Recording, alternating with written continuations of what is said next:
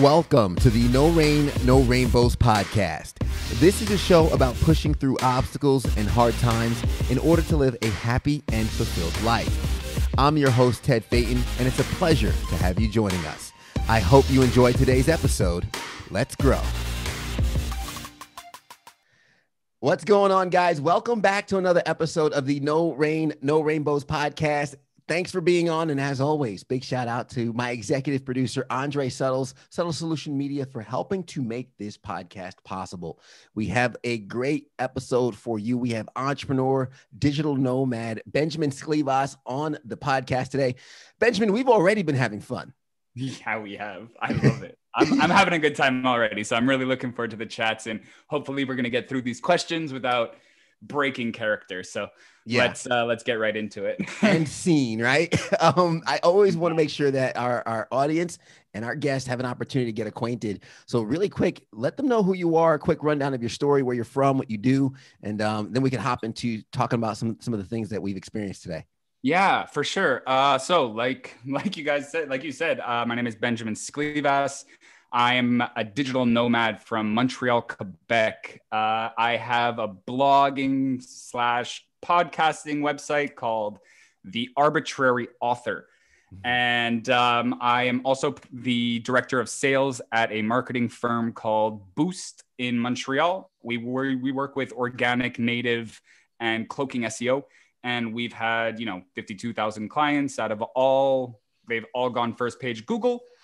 That's my drop and I'm I'm no longer going to be dropping business because I'm I'm all about the conversation and really learning about you know giving back and really trying to to to make sure that people are getting value from this type of episode and really trying yeah. to give back in the way that I can. Yeah, and, uh, I appreciate, man, I, and I appreciate your story because I'm I'm gonna just jump right in, and I yeah, yeah. I know with one thing we talked about, and you have on on on your bio about ADHD being your superpower yeah. And and I I, I love that because um I I'm one who people would joke to me. They're like, "Oh, Ted, you have ADHD," because I'm all over the place, right? And that's just I'm how I've always been. yeah, like that's just how I've always been. Um, but for me to kind of have that mindset of okay is this a detriment or actually being a superpower for you to kind of not only fully embrace that but display that i'm, I'm mm. interested in what that journey was like have you always felt it was a superpower or was there kind of like some reflection and transformation there Ah, that's a really good question. so I, am going to be completely transparent and honest about it. Um, ADHD sucks. You know, mm. it, it, it's not easy, and it never was easy for me. To this day, it's still not easy for me. Uh, it's a superpower because I want to make it a superpower. It's a superpower because I don't want to focus on the negative aspects that come with having ADHD.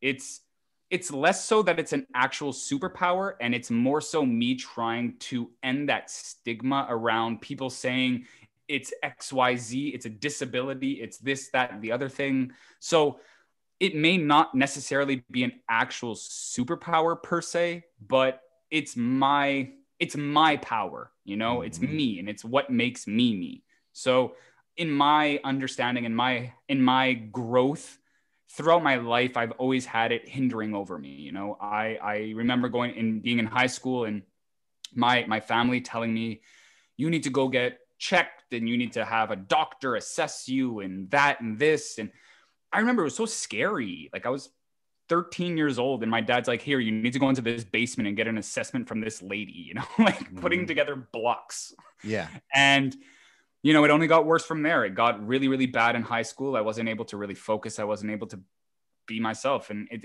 it's it's affected most every part of my life. You know, socially, education, like personal, everything. You know, I I sometimes I feel like I'm obnoxiously loud and out out there, and sometimes I feel like I'm a, I'm, I'm a hinder on my friends, and sometimes I feel like I'm just flat out stupid. You know, like it, mm. it's not easy and it, it's really bad because personally, I, I've had it affect me my whole life. And I'm only now starting to see the value in that. And mm. it, it's taken hours and hours of therapy and it's taken a lot of self reflecting and it's taken a lot of failures, you know. And when I say failures, I mean consistent, really repetitive, repetitive failures. And it affects me and I still, it still affects me to this day. But, you know, I think that the one thing that I've learned from it all is that I've I always tried to make those negative aspects of my life, the ones that are really really affected by ADHD, I always tried to make those negatives into a positive, which is not going to work. So I um, I started focusing on what I was good at, you know, speaking, creativity, counseling, talking to people and making and, and understanding the direction of where they want to go, you know, end goal things where other people don't see things. I see manners of getting there. Mm-hmm. And it, it, it took a really long time and it, I didn't love myself for a really long time. I'm, I'm, I'm still not 100%. I'm going to be completely honest about it. But, you know, every day is a is a is is something you need to work at. Every day you need to work on yourself. Every day you need to work on the internal aspects of yourself. And i think that that internal dialogue especially for people with adhd is not always positive you know? Yeah.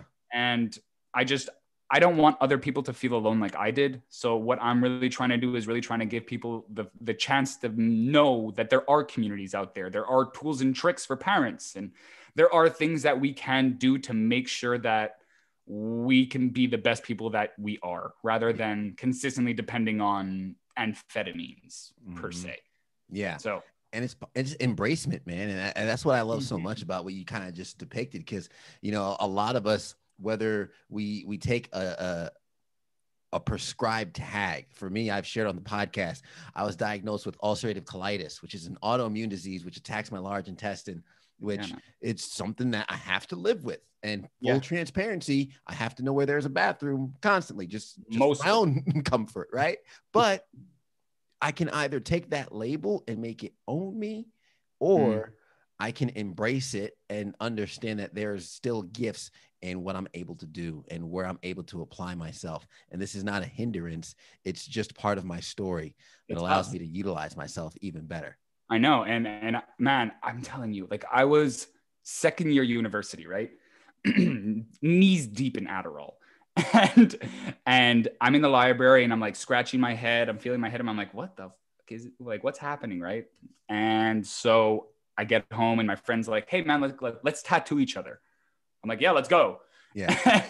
and um, she's like looking at my neck. She's looking at my head. She's like, Ben, you have a you have a hole in like you're missing hair. I'm like, oh God, what and I th- and, and, and it was it was uh, April Fool's Day, so I thought my friend had shaved my head, you know. and I go to the doctor, and my doctor's like, "Oh yeah, you you have an autoimmune disease. You have alopecia." And I'm like, "God damn, just keep adding them on." Yeah. And so, so you know, I it, it it's caused by stress and anxiety, and that that's something I have a lot of issues with. You know, I'm really anxious and I'm really high strung. So, yeah. you know, I, I, know where exactly where you're coming from. I, I know the feeling. And I think that, I think that that's what makes us us. I think it makes us what we've gone through understandable. It makes us, you know, our story. I think that that's really important. I think that our story is, you know, the one unique thing that we each have that, that, you know, that chest that we all really really keep close and dear to our heart and some people share some people share about it and the other people keep it secret and I kept mine a secret a really long time. I, I kept most of my life a secret a really long time, but I'm at this point where I, I think it's not that I don't care about what other people think. I think it's more so the effect that I no longer I no longer am affected by the way that people look at me. Yeah. And you know, I think that we've all been in a situation where we've all made mistakes and regrets and we've forgotten to do something here and there. And whether it's big or small, I don't think that you should hide that kind of thing. I think that, that that's something that makes you as an individual, you as an individual.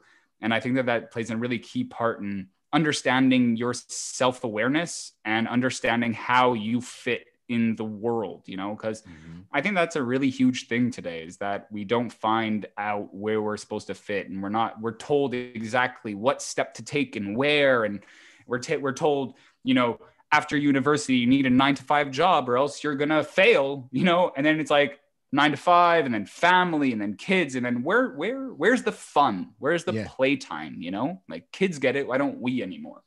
Yeah like where's the thing i was put on this earth to do dead ass. Because something tells me I was not meant to just punch this clock and do the same thing over and over, day in and day mm-hmm. out. And yeah, we do follow that. We follow the we follow the playbook in front yeah. of us.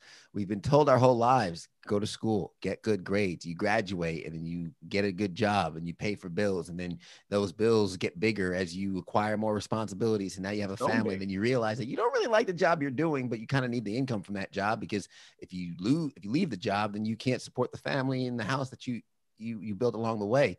So this is kind of a and then you buy a Tesla Roadster, you know, and then you buy a Tesla Roadster, and you're like, hell, this is this is me now. Yeah, this, you have a midlife crisis and breakdown. Yeah, um, I'd love to know how your entrepreneurial journey began. Um, and what that's been like. I imagine it's been a roller coaster, and I'd love yeah, to because yeah. you you mentioned. I, I love how you put the emphasis on a lot of failures. Yeah, yeah. I imagine that's yeah. been a roller coaster in itself. Yeah, and and that's like that's not even me as an entrepreneur. That's just my my life in general. it's just like failure, growth, failure, growth, failure, growth, and I think that's super important to to, to you know personal growth in and of itself. So you know, um, I've always had an entrepreneurial kind of je ne sais quoi, like the the, the drive, mm-hmm. right? And it really started in first year university because I remember like all of my friends were were talking and bouncing ideas off each other, and it was like the first time that I was in an environment where like there was brainstorming happening all the time, and I loved it. I, I needed it like a, like a drug almost, you know. And I was there every day, every day at my friend's house, talking, bouncing ideas off one another. It was like it was like a mini Shark Tank, mm-hmm. and it mm-hmm. was so great. And so I always remembered. I'm like, and I and I reached out to my friend my friend Phil, who who also has uh, you know ADHD, and shout out to him because I love him so much. But mm-hmm. he we we started a business in first year university. We're like, let's go, let's dig into it, let's let's make this little town ours. Mm-hmm. And, and and and in case you guys don't know, I lived in a in a university town called Antigonish, Nova Scotia, which was a county first of all, and second of all, it's like 5,000 people, of which 3,000 of which are students. Huh. Okay. Yeah. tiny. Yeah. And so we really started this thing. We went in strong. We had packages and that, this, this, that, and the other thing. And uh, we ate it. It sucked. It, it lost. We gave up. But, you know, we learned a lot from it. And, and that was like the beginning of it, you know, that was the beginning of my drive and my entrepreneurial, you know, ventures, I guess, you know. And then I started working for startups after startups after startups and started working on building something from the ground up. You know, I was always like first three employees. So it's yeah. like me and two other guys, and we're just like digging in. And it was awesome. And then, you know, I I, I worked, I had the choice to work a corporate job. So when I graduated university or prior to graduating university, I was offered a couple of jobs in New York, Toronto, and Montreal. Mm-hmm. And, you know, so New York was like an absolute no because cost of living is like a hundred thousand dollars US and I was making 30. like I was like, what? The math is upside down on that. Ah, yeah. And even in Brooklyn, I was looking in Brooklyn, it was like $45,000. I'm like, sorry. I, um, no, I'm good. Yeah. Um, so I, and then my mom had mentioned, she's like, Hey, if you want to live with me, I'll support you in regards to rent until you get your feet like on the ground and whatnot. So I said, okay, I'll take I'll take the job in Montreal. And uh, so I worked for Pornhub, you know, and I, I, worked for Pornhub, and it was awesome. So I worked for the the uh, advertising platform called TrafficJunky. We we uh, we had an amazing team. My manager Chris was like an amazing guy, always helped me, and he knew exactly what I needed to stay on track, which mm-hmm. was like beyond amazing, you know. But uh, I wasn't into the whole corporate life, you know, like working for somebody and listening to other people tell me what to do, and then you know all of this high school drama about like who you're supposed to be friends with and who you're not supposed to be friends with, and what you're wearing and how you react to things, and you know like we had the biggest parties in the world, but it was like, oh, but if you actually have fun at those parties, you're not cool. like, yeah. Yeah. So you can't you, know, you can't enjoy what you just set up. Yeah. And it was like huge parties, huge. Yeah. And so it was great. But then, you know, I got fired. I'm gonna be completely honest about it. Um, I I I said and did some shit on a stuff on a on a on a call on a business call and you know I, I don't really believe it was that bad but you live and learn. So that was my first my first loss. I, I, I lost I lost my job, and then I lost my freedom because of COVID. So um, in Montreal, it's curfew. All right, so it's like 1984 in here. You know, I I we have to be in at eight o'clock, and we're only allowed leaving at 7 a.m. Mm-hmm. And so I lost my freedom. So I lost my job, and then my freedom, and then I was spiraling out of control, spiraling, spiraling, spiraling. And you know, I I I always had this need for external validation from other people. So it's like, oh Ben, you're good and you're smart and you're attractive and you're good, good, good, good, good. You know, like I needed it because I didn't have it in myself. I didn't have that, you know, love for myself or uh, any affirmations of anything, right? Yeah. And so other people were I like I had some like little fame in the Philippines really long story, something we can talk about another time. and you know, I uh, I gave in to that external validation. I I I, fucked up. Sorry. I uh, I made it. I made a, I made a conscious decision to cheat or speak to another girl. You know, while I had an amazing girlfriend, mm-hmm. and who I'm whom I'm still in love with, for God's sakes. Um, and so I lost all three things at once. And my stepdad owns a digital marketing firm, and he told me he's like, look, Ben, if you want to work for me, I'll give you director of sales. You can take care of that. You can do that. Find find where your niche is, but under one condition.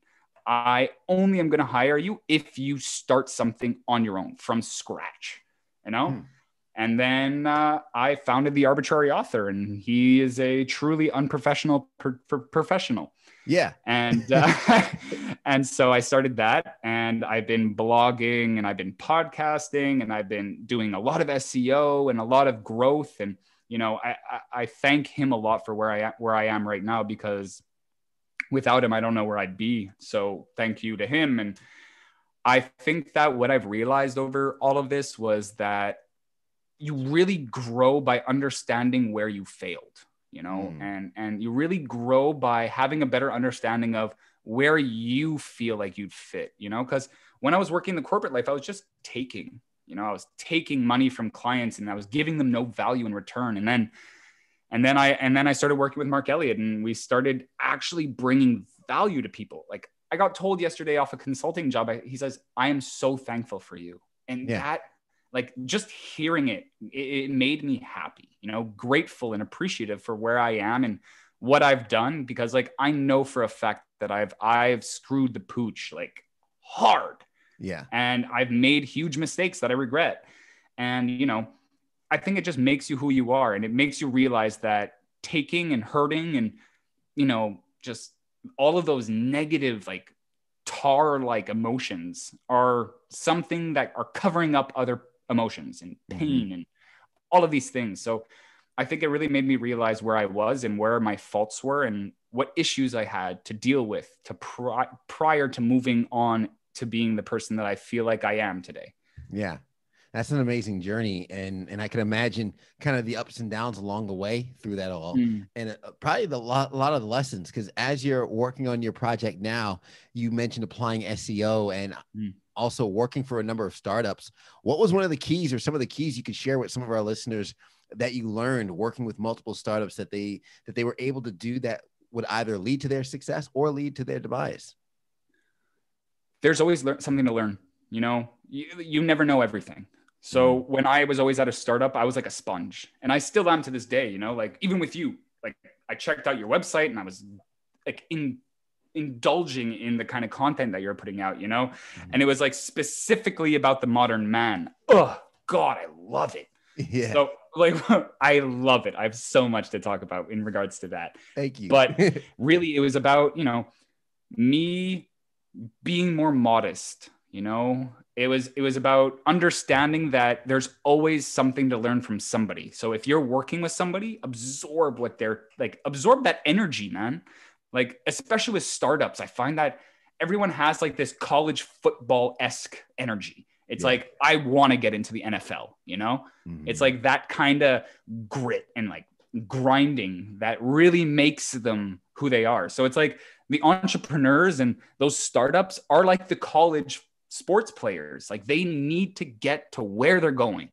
and they mm. have drive and ambition to get there. So they always have something to give. So what I learned is networking is so important, whether it be through, you know, customer acquisition or clubhouse or podcasting, you know, like there's always a way to network. There's always a way to absorb like information and knowledge and learning to reciprocate. So by taking, you're also giving without even realizing it. Mm-hmm. So I think that that's something I really learned. And something else I really learned is that, and this one is a not so good one. It's that, you know, you're accountable for your actions. You're, you're going to be accountable. So whether that be like one day where you wake up and you're hungover and you're like, hell, I'm not going to this 9 a.m. meeting. And then you miss the 9 a.m. meeting, but the 9 a.m. meeting was something that was life changing for the brand, you know? Yeah. So it, it makes you very uh, accountable for your actions and it really gives you the opportunity to say you know i want to do this or i don't want to do this and it's a choice it's a concert, conscious choice rather than you working at a at a corporation and you having to be there by 9 a.m and then you have to leave by 5 if that yeah. you know so i think that there's two sides to the coin you get you get a lot but you also lose a lot and there's a lot of um, there's a lot of volatility to it. So it's not for everybody. I do not think it is made for everybody, but I think that COVID has really given us the opportunity to be able to take that chance. And I'm mm-hmm. really happy for it. And I'm really appreciative of it. Yeah. Um, I, I wanted to ask something that you touched on earlier yeah. uh, about when you were talking about when you were in college. And I, I remember you, you had it listed in your bio mm-hmm. about um, like the ADHD medicine that oh, like that, yeah that that's out there prescribed yeah. And, i mean and we've seen documentaries on it we we've seen mm-hmm. people come out and speak on it um, i'd love to give you the platform really quick to, to yeah. share what yeah your experience mm-hmm. with these medications are and re- really what words of caution you would give to yeah. some of our listeners because um, Adderall specifically, what you mentioned earlier, I, I've known some college students to use that not for the necessity of it, but also for um, kind of like the limitless pill, right? Oh, I have mm-hmm. a I have a, an exam tomorrow. I gotta get this paper out or whatnot. Let me pop an Adderall. Um, that's so dangerous, and mm-hmm. I'd I'd love to kind of give you the opportunity to talk on that really yeah. quick because I, I really think for our listeners, the high achievers out there, there's so much pressure we put on ourselves. Yeah, um, don't don't go for that or quote unquote sell yourself yeah. to that don't don't i'm telling you right now don't because everyone thinks that adderall and and and and specifically adderall i'm talking about right now because like that's that was my like it was like a poison almost it changed me mm. it it's you're taking meth okay it's an amphetamine all right so first of all it's a highly addictive drug it's like very highly addictive. You need to wean off of it slowly, almost like an antidepressant. Mm-hmm. And so I, you know, I've been taking these ADHD medications for since I was 15, I would say. And I've been on, you know, Concerta to Adderall to Vyvanse to you name it. And uh, man, I, I, there's a lot of good to them but there's also a lot of bad. So personally, Adderall, it, it messed with my brain. It made it make it makes you into a robot. You know, it it you cannot appreciate the present moment because you're always thinking about the future. You're always thinking about, oh, I need to be there. I need to get to that. I need to I need to achieve that and this and this. You're never present. You're never like, I had a good day today. It's always okay on to the next task on to the next task and and then and then you forget about eating and you forget about sleeping and you forget about you know basic human needs really and so you know at some points like i'm not even gonna lie about it like i i i was taking double doses sometimes because like i wasn't able so for me um what what are they called like scheduled education like standardized testing was really hard for me so I would always double cram, cramming two pills, and I would study for 48 hours on end in the library. And by the end of university, I just felt like an empty shell. You know, I wasn't me anymore. I was getting so angry at everything. My fuse was like cut in half, right? And so these drugs are really dangerous. Like they're overprescribed, first of all. And then nobody tells you about how to do things on your own. So presently, right now, I am weaning off of my medication as a general whole, right? So I was on Adderall 40s and then I changed to Vyvanse and now my Vyvan is cut in half and I'm taking a plethora of amino acids and supplements and vitamins and minerals and all of these different things that because the thing about ADHD is that there's a lack of your dopamine receptors aren't working as well. So they're not producing as much dopamine. So that sense of accomplishment doesn't really happen, right? So I can t- I can count on my on one hand how many times I've been I felt accomplished and truly accomplished in my life, you know? Yeah. And that sucks. like yeah. full on. So, you know, I think that there's a lot of danger, but like I said, I'm not a professional. I cannot give my professional opinion on this. I think that everybody's bodies are different. Everybody's ways that they react to drugs or, you know, amino acids or whatever whatever works for you as long as you're staying safe and you're growing and you're feeling like you're actually the person that you're meant to be and not just because you're feeling pressure from friends, families, associates, you know, students and teachers and don't feel like you need to do that for them. Do yeah. it for you because, you know, in the end, you're the only person that you have at the end of the night. And as long as you're doing something for you and that it brings you value, then that's all that matters. It's just that my personal opinion is that there's so many things that you can do on your own to make sure that those side effects or those things that make us us a, like are you know halved so and i and i think that and i'm i'm gonna point it out that the best thing for me personally has been meditation you know mm-hmm. i meditate once if not twice a day and minimum 15 minutes a day you know nice.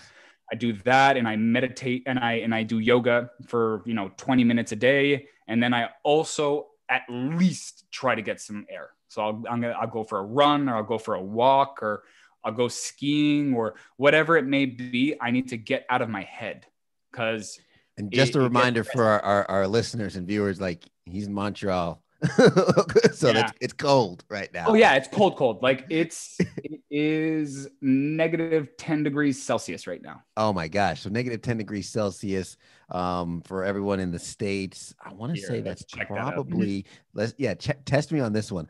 I want to say that's about what 27 degrees, 26.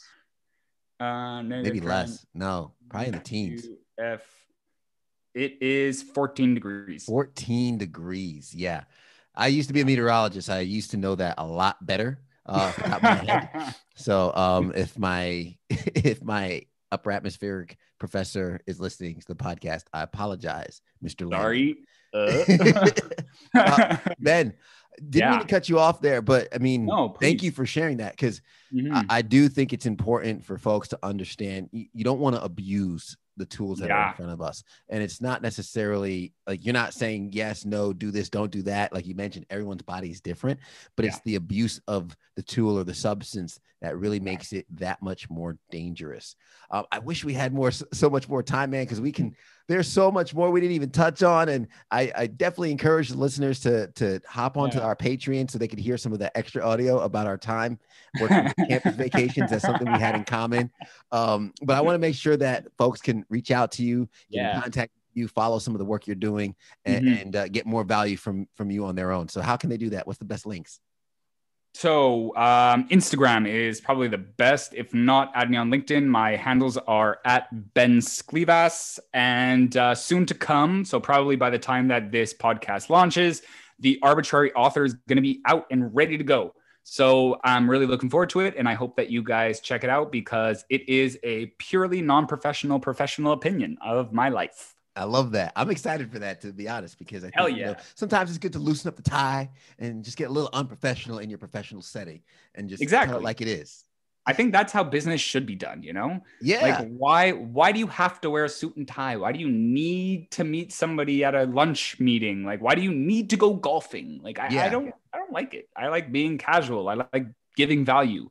And however that may be, whether whatever I'm wearing, whatever I'm saying, if I drop a bomb once in a while, like so be it. Just yeah, get over it. Yeah, you know? get comfortable, right? right? Just like let's, let's meet each other where we're at. I'm gonna do something one day. I'm just gonna schedule a business meeting at a skydive location. It's like, yeah, we're gonna do hell this, yeah, uh, that's lit. We're gonna, we're gonna do this after we jump out that's of a plane. Cool. awesome, man. Like, yeah, we're gonna be business partners. Let's jump out of a plane first. I want to know if I can trust you. I want to know if you're a real brother. You know, like, yeah. Tell that to my roommate. It's like, why? Why didn't the partnership work out? He didn't jump out of the plane. He didn't jump out of the plane. yeah. I knew he wasn't ride or die. like, million dollar deal? Screw it. Nah, nah, nah. He didn't jump. Nah. ben, thank you so much. This is so valuable. And um, I, I appreciate first your gift of storytelling, but I also appreciate your your vulnerability and your honesty with, with me you. and the audience. I could hear it. I know they can hear it. And it really resonates. And I just want to kind of recap some of the things you said along the way that really yeah, stuck yeah. out, uh, stuck out to me that I really would love our, our listeners to take, take hold of. First, it's my power. We, we have these, these descriptions or these, these prescribed titles that get given to us and we look at it as something to be ashamed of something to hide or something to define us when it can in essence be our power and changing that into your power is something that's amazing. Failure to growth failure to growth. Ben mentioned how many startups he's worked for how many failures he's had but the pattern has always been failure to growth. And of course focusing on that is the main thing. Um, mm. you grow by understanding understanding where you fail. That's kind of where I was following up with is when you understand where you fail, that's when you take the lessons and then you can apply that moving forward. And there's always something to learn. I could tell Ben is a learner. He is a he is a sponge, as he mentioned, and he's learning everything and absorb the energy of the network around you. Those oh, yeah. people who are working in startups. He mentioned the college athletes, right? Everybody wants to be like them, but you know that they're hungry for something. There's so much to learn. So build that circle, learn from them, understand the gifts that come with it but you're also accountable and you have to show up and you have to do it for you. Last point, regardless of what it is you're stepping into, moving forward with, do it for yourself, not for what others would think, not for the people who are surrounding you who in their love are trying to give you suggestions, but it might not be what you want for yourself or what's best for yourself. So do it for you. Those are my notes. Those are my feedbacks. Ben, thank you, man, for sharing with us today. Thank you, man. Thank you for having me. I'm uh, I'm really happy that I got on here, and I'm really happy that we talked. Yeah, it was a pleasure, and uh, definitely will continue to connect after the recording. But I uh, just want to tell the listeners if if you guys enjoyed this episode, we appreciate you rocking with us all the way to the end. Hit that subscribe button, hit that like button, give us a rating, let us know how we're doing because that's how we improve and get better for you guys. If you've loved this episode, share it with a friend. We appreciate the word of mouth, and of course, we always tell you that you can support the podcast if you love it so much for as little as one dollar a month on our Patreon page. That's where you can hear the extra audio with Ben and our other guests as well. Guys, thank you so much. And as we always say at the end of the episode, everybody wants the sunshine, but they don't want the rain. But you can't get the pleasure without a little pain. Let's Damn. Go. All right. Yeah. All right. the No Rain, No Rainbows podcast is recorded at Camaraderie, a collective workspace in Greenville, South Carolina, right off the Swamp Rabbit Trail. If you're looking for a place to grow your business, network with other professionals, and establish your own workspace, Camaraderie is the place to do so.